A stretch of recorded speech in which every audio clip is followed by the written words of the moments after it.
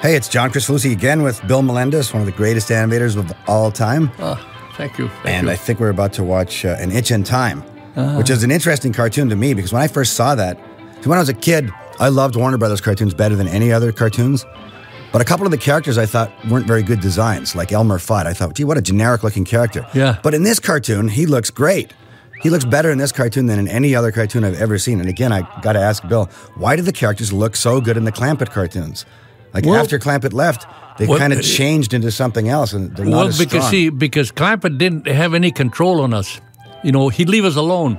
Whereas once, uh, say, Bob McKimson took over the, the unit, then he had he was so precise that he wanted it a certain way, so it, it you know it tied us up to into knots right away. Well, that's really interesting right there because Bob McKimson drew better in Clampett's cartoons Yeah. than he did in his own cartoons. That's right. And in his own cartoons, he, he gave all the characters little skulls and great big jaws, and they weren't as cute as they are in the Clampett No, cartoons. he just he, he well because he. Um, so Clampett must have had something to do Yeah. with controlling him from doing that, you know, more realistic style that he did in his own cartoons.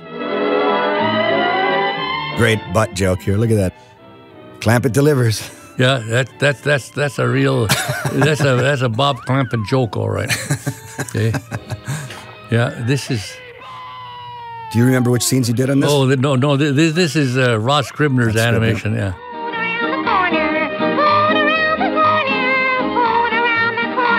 Do you remember the song in this? There'll be food around the corner. yeah. Look at that. That's great. Whose animation is that? Is Oh, this is Rod Scribner. That's Scribner too? Yeah, it's Rod Scribner. Yeah, yeah. These are fun to, to freeze frame. Every drawing is so weird. I know. Yeah, Scribner loved wrinkles, eh? yeah. So you had some really funny stories about just the spirit at Warner Brothers Studio. Some of the things that I think that- the that gags you used to pull, and That was what was great about the studio was that it was a real cartoon studio, and uh, gags never stopped. You know, uh, against each other about everything, and um, so it made it a real fun place to be. It's a place where you could bore holes in the floor and drop things down on the people below you, and it was acceptable was it acceptable to the people who had the things drop to everybody. yeah, nobody ever complained or or or or said anything to to management about it. Now, your unit was above Chuck Jones's unit, wasn't it? Oh yeah. Oh. Wasn't the attitude in his unit and Jones's unit a little bit different than Clampett's? Oh God, I made life miserable for them, and and rightly so because they were so pompous and uh, and uh, they they referred to themselves as Unit A. Oh God, that uh, just makes me grinch when I think of that Unit A. One time. On the loudspeaker said, Unit A to the projection room, Unit A to projection room. Well, by the time the Unit A got to the projection room, all of us were seated there. From We're the Clampett unit- unit. Yeah, we're Unit A. Chuck comes in and he says, I called for Unit A. We're Unit A. You're not Unit A. And then uh, uh, Unit A starts straggling in. I says, Well, they're not Unit A, certainly. Look at them. Bunch of slouchy. Anyhow, we, we, it was just great. Anything like that was uh, would cause right away a war of, of one kind or another. What about that hot plate story you had? Oh, yeah.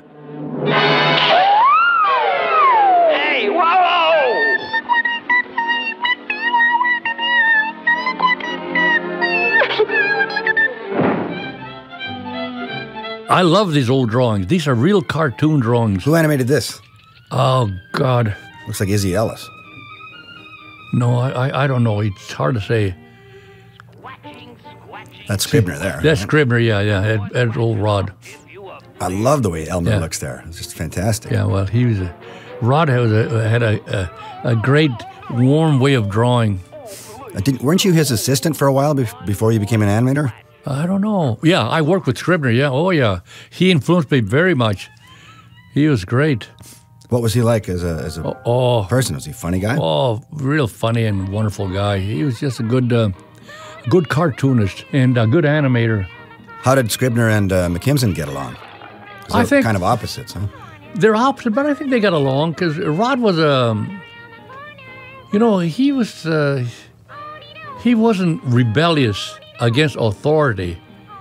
He was just creative and, and did his thing, and he just, nobody questioned. I didn't question it, and, I, and I'm sure that whoever he was a director at the time accepted it too because he was so good.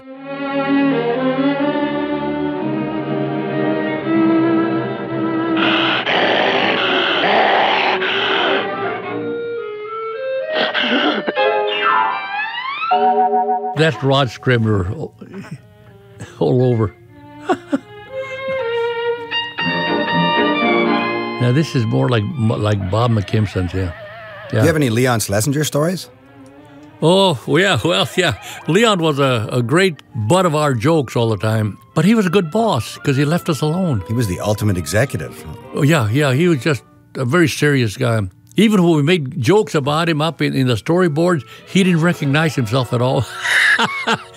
so we always, we always were pulling things on him, you know, making the butt of our jokes, but he never saw it. He was just great. Wasn't Porky Pig a little bit based on him? He was right, yeah. He, loved Porky Pig. He, Didn't he? yeah, he says, how come we don't do Porky Pigs anymore? he says, by God, you're right. And so right away he started, you know, doing Porky Pig stories because he was him. Clampett told me a story once that whenever you know Leon didn't come around very often to Yeah. look at the storyboards, but whenever they heard he was coming, they would take down every storyboard they had and put up a bunch of drawings of Porky Pig. Yeah. And he'd come in and see, oh, there's that funny Porky guy with the stutter. Yeah. Ah, you guys know what you're doing, and he'd leave, Yeah. and they'd take them all down again and do Bugs Bunny. Oh, yeah. yeah, he'd go through a storyboard as soon as he came to a Porky Pig. Ah, yeah. Turn it, right, right. And he didn't even read the story. so the guy started putting, every once in a while, they'd put up a, a Porky Pig pose, you know, for no reason. Had nothing to do with the story. So I like to see him do that. Uh, what I just did for you, you know. Ah, ah, yes. And he keep on, didn't read the story at all. He went to the next place where he saw Porky Pig, and then he was happy. Oh boy, oh, they were great because we could really poke fun at them, and they never, they never saw it.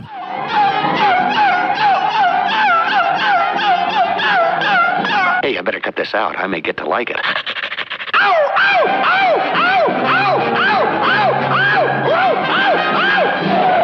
See, This old Rod Scribner at his best. Look at him, yeah. I'll tell you, that system sure worked because these cartoons have outlasted everything else from that period. Oh yeah, These are the most popular cartoons in history, and they're even more popular than the the live action characters that Warner Brothers Yeah. had.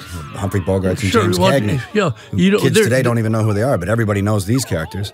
Th- there's a life to these things that that uh, it's. I know it's a cartoon life, but it's. Look at that front- animation. Yeah, That's great. Isn't that great? Yeah, that I, I, I that looks like Scribner, but I'm not sure.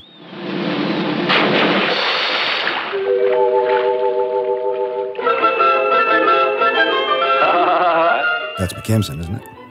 Yeah, it looks like him. Yeah. Do you remember anything about the genesis of these cartoons? Like, would you be in on? Did did Bob tell No, the stories to everybody you know, while they were being written and look No, for more gags? no, just no, not these. These are too early. But um, later on, cartoons we would get involved in, in the you know. Once the storyboard was done, the, the the writer would go over it for us to tell us a story, and it was kind of great.